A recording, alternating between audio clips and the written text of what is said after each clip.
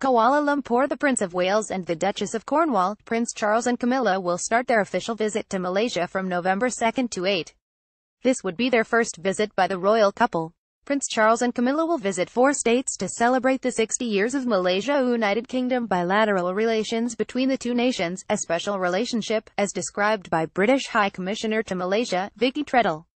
The Prince and the Duchess are scheduled to visit various organizations promoting wildlife conservation and biodiversity, women and girls training, education and empowerment and defense in Kuala Lumpur, Perak, Sarawak and Penang. The royal couple are expected to have an audience with His Majesty the Yang di-Pertuan Agong 15, Sultan Muhammad V at Istana Negara.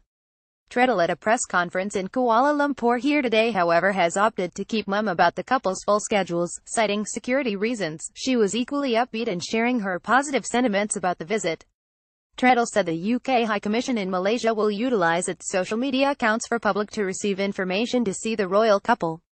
The royal couple will tour Malaysia for five days, the longest in the tour after Singapore and India. She highlighted that, the relationship between the two nations run deeper than just diplomatic ties.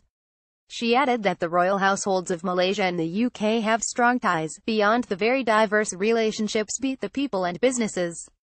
Treadell also said that strengthening the relationship with countries outside of the EU including Malaysia is paramount to prepare itself for a UK outside of the EU.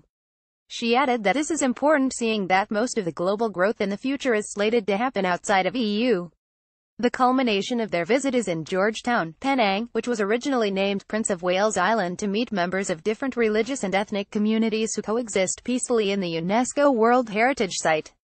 One of the key events in the program include a gala dinner to be attended by minister and representative from business, arts and culture in Malaysia. Treadell added that the visit will be a precursor to the Commonwealth Summits to be held in the UK in 2018 and Malaysia in 2020.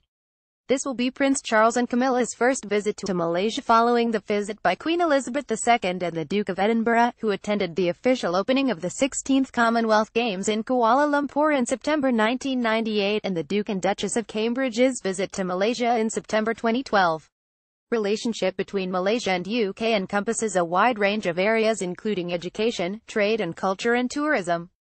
Malaysia is the UK's second largest export market in ASEAN and the UK is Malaysia's third largest trading partner in Europe.